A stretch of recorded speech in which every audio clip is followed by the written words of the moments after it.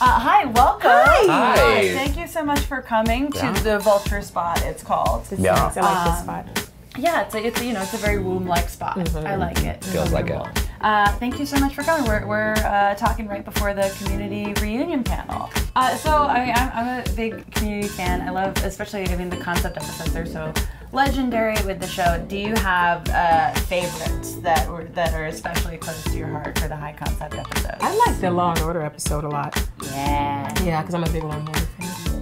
You guys, what do you? Which Uh, did you Law like? and Order is special to me. That's when my kids were born during that episode. Oh, that's so right. Oh my goodness, I episode. remembered that. Yeah, very memorable. Very. Good. What very scene good. were you doing when you had to leave? I was remember that? yes, I was looking at a yam with uh, in the coroner's office, right? And we Yeah. were looking at the coroner's office, and then and my wife called and she's like, "Hey, you gotta get here," and I was like, "Okay." And then I said, "Hey, you guys, I gotta go." And they're like, "Well, we need to finish your coverage first. And you're like, mm, my, and I was my like, twins are coming. And then uh, yeah, we ran out You've of there. worked under duress a couple of times. You I had to have. work when you broke your nose. I did. He broke his nose and he shot all day. I worked with a sprained ankle. Yeah. I fell and sprained my ankle Mm-hmm. and finished the day. Wow. Did you get injured at all? No, I was perfect health the whole time.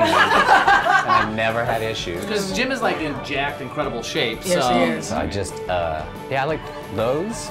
I loved the, uh, I, I don't know their titles anymore, but the clip show. And the Oh, I first time love we the did that, first clip show. good. just because I thought it was so inventive, Yeah, and we got to go to, I think it was with Universal, Universal. and we Sorry, shot in one day like all that It was stuff. so much fun. there was like to shot 70 one crazy day, 75 scenes. That was, Yeah. That's my favorite episode of all of them. Is it? the first clip show? Yeah. Yeah.